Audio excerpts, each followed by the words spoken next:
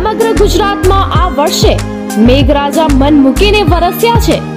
ત્યારે ઈડર તાલુકાનો મળિયોલ ગામનું તળાવ જે સુરપુર સીમાડામાં આવેલ છે, તળાવ બે હજાર સાત બાદ બે હજાર બાવીસમાં ઓવરફ્લો થયું છે. તળાવ એનું નામ કર્ણાપોર તરીકે ઓળખાતું આજે ઓવરફ્લો થતા ખેડૂતો માટે ખુશીની લાગણી જોવા મળી હતી. આજુબાજુના કૂવાઓને બોરોમાં આ વર્ષે પાણીથી ભરાઈ આવશે. એટલા માટે ખેડૂતો રાહ જોઈ રહ્યા હતા. ખેડૂત પોતાની મનથી ખેતી કરશે. જે ખેડૂતોને પાણીની તકલીફો પડતી હતી, એ પોતાની ખેતી કરી ન શકતા.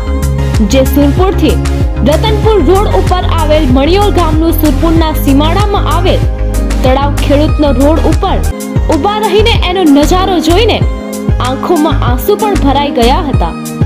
ને ખેડૂત જમીન ચોરીની અન્નનો દાણો ઉગાડતા હોય એના માટે તો મોટી વાત છે. આ અહેવાલ લખતા મારી આંખોમાં પણ આંસુ આવી ગયા હતા.